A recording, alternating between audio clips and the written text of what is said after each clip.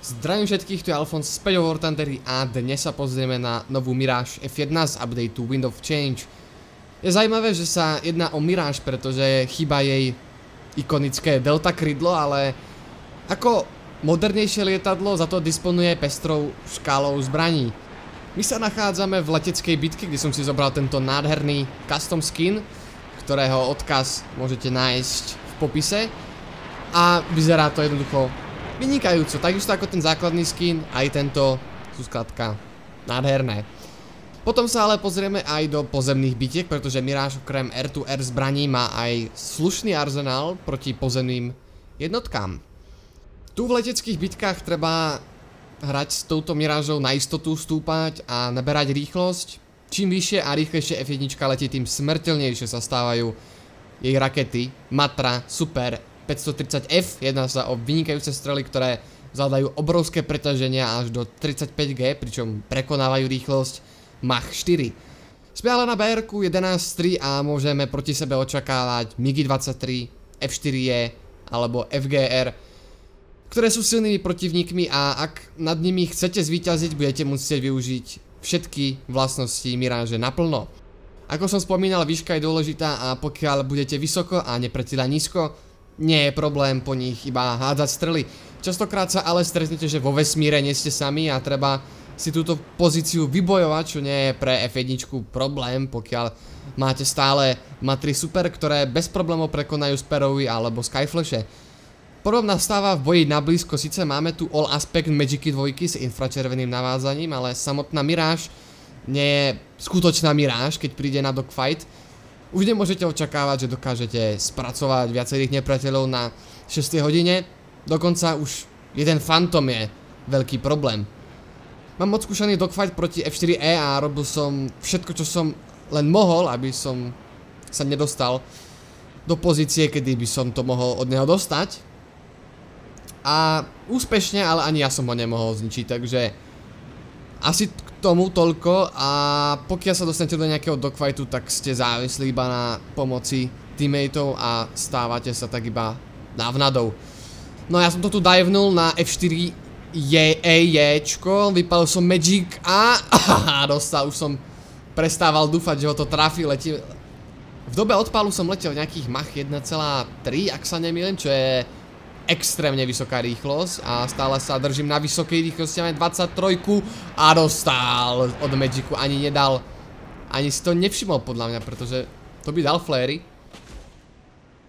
Každopádne, moja rýchlosť už nie je to, čo to bývalo, ale máme za sebou ďalších enemákov.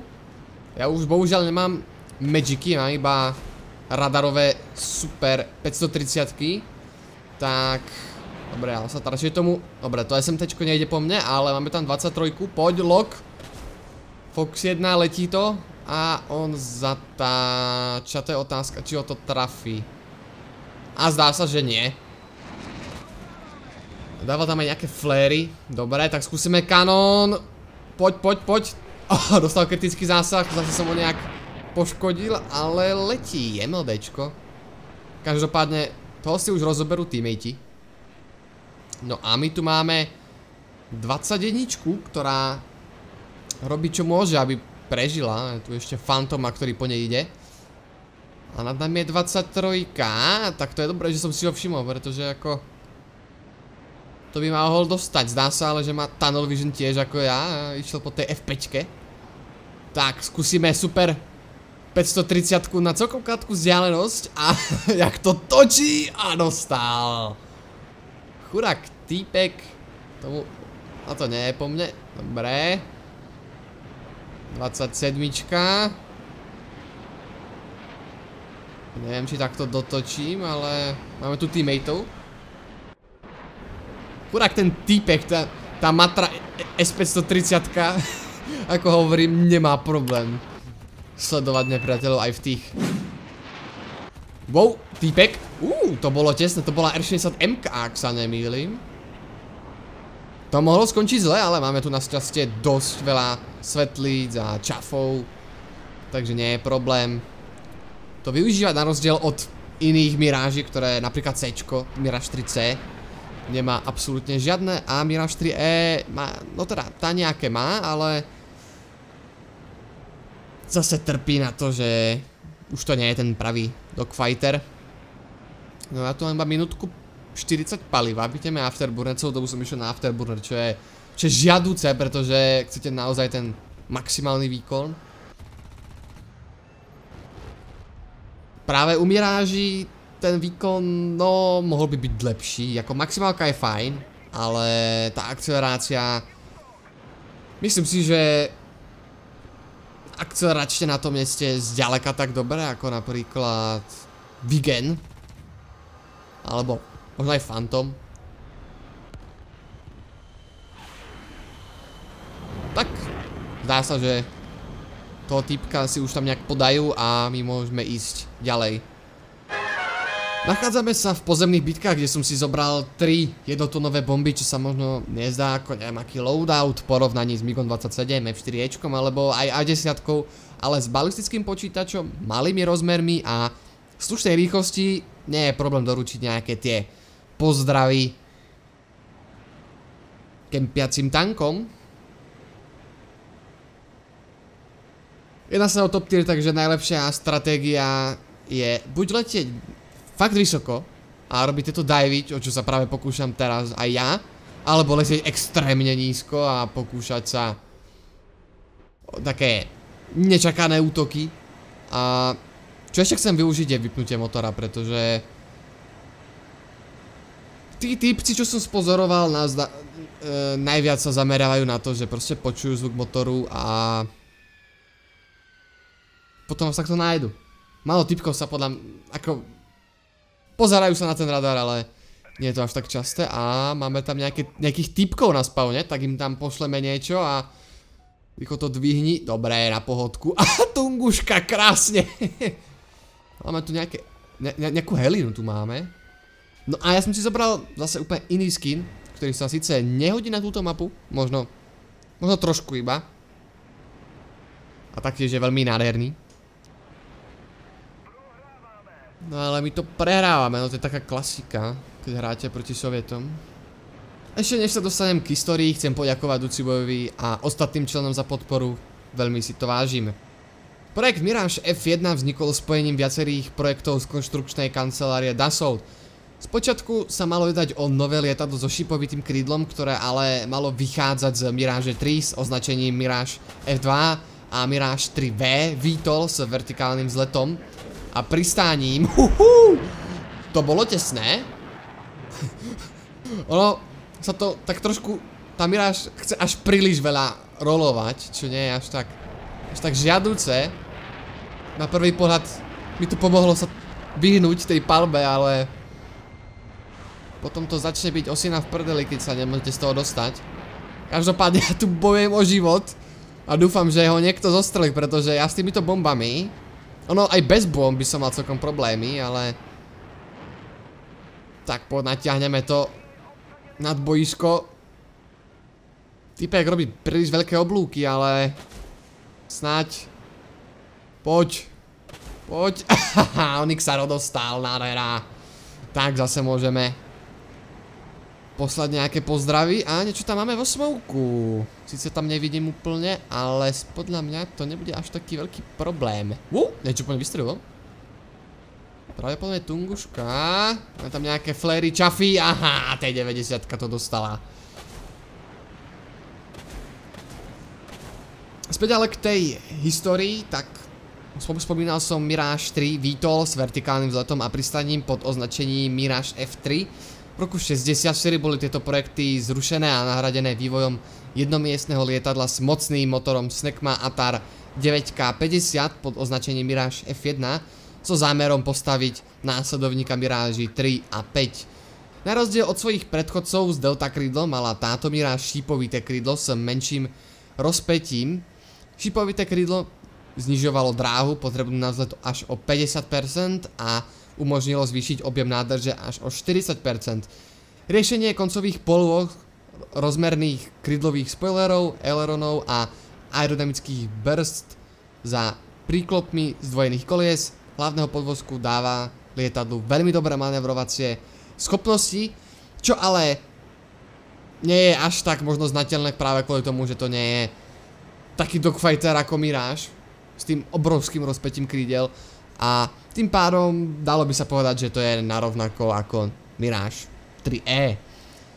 K veľkým zmenám nedošlo iba na vonok, ale aj v avionike s novým radarom Thomson CSF Cyrano 4 a s neskorším Cyrano 4.1 s limitovanou lookdown schopnosťou iba v spodnej polosfére. Nový radar tak umožňoval detekovať ciele na dvojnásobnú vzdialenosť, vďaka novému motoru tak prototyp v roku 66 počas skúšobného letu prekonal hranicu Mach 2, čo sa neskôr prejavilo v tom, že francúzske letectvo prejavilo záujem, kde došlo aj k následnému redesignu. Tak ja už tu na doslova padám na nejakého týpka, ktorý tam na nejakého nešťastníka. A to bola, to, to bol teda ten vrak a máme tam zase v smoku T80 dúčko, ktoré popravilo IPčko. Dvihni to! Dvíhaj, dvíhaj, dvíhaj, dobré, pohodka. T80 dúčko zničené a zapíname motor a držíme sa nízko, pretože mám bomby a majú tam nejakú tungušku jednoznačne. Tak, máme helinku, ale tá nám asi veľmi nepomôže, keďže oni majú kepnuté dve zóny. Náš tým je doslova reduced to atoms a ja robím čo môžem, aby som to nejak nejak spomaloval. A keď pôjdeme C, čo je vynikajúce, až na to, že to je tak trošku neskoro a ja už nemám ani žiadne bomby na podporu, ale tak môžem skúsiť kanóny, stále sú to defa 30 a dokážete s tým, čo to prerazí, áno, tanky z hora, to sa dá, ale tých nábojov tam zase nie je tak veľa, že by ste to mohli využívať, respektíve zneužívať. Tak je lepšie sa zameriavať iba na nejaké BMPčka a ľahkopancované stroje, než reálne MBTčka. A niečo tam máme. Tak to som zvedavý. O ne, to je tunguška! Faja, faja, faja, faja, faja. Á, dostal ma. Ale aj ja jo. tak nachádzame sa zase v leteckých bitkách. Vstúpam do vesmíru. Dúfam, že tu na niekoho narazím, pretože ako som spomínal, sú také dve scenária, ktoré sa stanú, že buď vybujete z ducha a aj tak pojete dole, alebo pojete rovno dole, pretože sú tam všetci, takže asi toľko k tomu. Inak tie čafy dokážu narobiť neplechu proti týmto suprám a preto je lepšie jednoducho strať na na protivníkov, ktorí o vás nevedia, alebo jednoducho majú tunnel vision, zamerávajú sa na iných a nedávajú tak úplne pozor. Preto sa oplatí používať skôr magicy, pretože to nedáva žiadny warning a je to preto lepšie, máme tam týpka 7 kilákov a ten sa vzdialuje, a máme tu nejakého bližšie týpka z 6 kilákov a už to po ňom letí. Tak dúfam, že nestratím lok, pretože som nedal dobré nádhera plus Doppler, pretože plus Doppler vám bude fungovať iba po 20 tisíc stôp. A toč, toč, toč, toč, toč, toč, toč, toč, wow, to bolo tesné. Preto odporúčam sa točiť vždycky na nejakú stranu, ak vypálite radarovú strelu a to išlo úplne mimo. Ale tak to bola iba tá menšia. To nebola tá super, ale tá klasická radarová strela a máme za sebou týpkov. Úžasné. OK, tak sa tomu vyhneme. To nie je problém, je to iba fra červená. Horšie by to bolo s radarovými strelami, tam už potrebujete trošku viacej sa do toho zapojiť a F5 ide preč, nečakane. Som odľahčený, mám vyšší výkon a zobral som si celkom málo paliva, 20 minút. Na top tiere nie je úplne najviac, pokiaľ chcete mať v kuse zapnutý afterburner, čo ja práve chcem, aby som mal ten maximálny výkon, čo ale v realite asi veľmi sa nevyplatí a týpek po nej vypálil eh, radarovku asi. Ten roll je na tom strašne divný a nestabilný hlavne, takže ak, ak ho budete používať, tak ho používajte s rozvahou. No a aby som dokončil históriu, tak prvá verzia mohla niesť iba jednu matru R530 stredného dosahu, ale v roku 79 boli tieto R530 nahradené matrami Super 530F s Magic Me, ako aj možnosť niesť AIM-9 Sidewinder pre španielské a grécké Mirage. V roku 74 sa oficiálne dostali do služby, kde zostali až do príchodu Mirage 2000 Francúzsko tieto F1 exportovalo aj do ostatných krajín ako Španielsko, Grécko, Líbia, Južná Afrika, Irák, Jordánsko a ďalšie až do ukončenia výroby v roku 1990, kedy ich bolo vyrobených cez 700 kusov. No a toto nevyzerá... Uuu, to bolo tesné. to, bolo, to bolo mega tesné, ale tak sa, že to už asi veľmi neotočíme, tak... Tak ja pristanem a poďme ďalej. Tak na stredačku sa nachádzame zase v pozemných bitkách, kde som si ale zobral teraz 6, teda 5 400 kg bomb, čo je celkom ako downgrade, ale máme ich 6, takže dokážeme potenciálne zničiť trošičku viacej tankov. No a späť k histórii. Iránske F1 počas iránsko-iráckej vojny zaznali víťazstvo dokonca proti F-14 Tomketom, ktoré sa im podarilo zostriť len niekoľko, ale z pohľadu celej vojny prišli o 33 F1 a údajne zostrelili 35 nepriateľských lietadiel ako F-14, F-4 a F-5. V rukách Juhoafrickej republiky sa im tiež podarilo zaznamenať víťazstva a to v roku 82 počas eskortovania Kenbier major Johan Rankin a jeho číslo 2 zautočili na dva angolské MiG-21, ktoré sa k ním blížili. Major vypálil dve Magicy, pričom druhá zasiahla cieľ a druhého zostreli salvy z kanónov. Prvý MiG ale bol schopný doletieť na základňu, kde ale bol následne viacej, ešte viacej poškodený, práve kvôli tomu, že musel pristávať na brucho. Jedným z posledných konfliktov na prelome tisícročia, kde boli tieto F1 nasadené, bol Afganistan, kde ale zohrávali iba úlohu podpory a boli nasadené e, Francúzskom. Tak, máme tu ešte tri bombičky, Zase odporúčam s každým lietadlom ísť čo najvyššie alebo čo najnižšie, niž medzi tým, pretože tam to je pásmo AAčiek a pásmo helikopter. Teda, skôr AAčiek, ale to je jedno. Odporúčam vypínať vždycky motor, pretože ono keď padáte a máte bomby, tak padáte celkom rýchlo. Je to závislé od hmotnosti, takže o rýchlosť nie je problém, skôr budete musieť ešte brzdiť, aby ste to dvihli. A máme tam nejakých dvoch týpkov.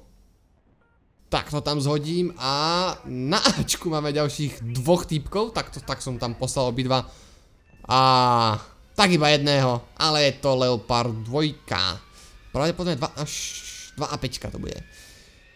No, ja som prázdny a zase to prehrávame. Zaujímavé. Teraz to je ale trošičku viacej balance. A to bola brka, čo som poškodil, no a tak mám assist. Tak aspoň niečo.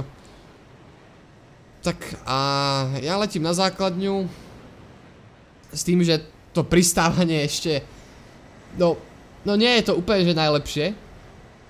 Práve kvôli tomu, že máme podvozok centrálne ako v trupe, nie je na krídlach a nie je to úplne najšťastnejšie riešenie práve kvôli tomu, že už sa mi niekoľkokrát stalo, že po pristáti som chcel ako kvečko, ečko, kormidlo a tak nejak som sa prevrátil a uh, pilot to dostal, no.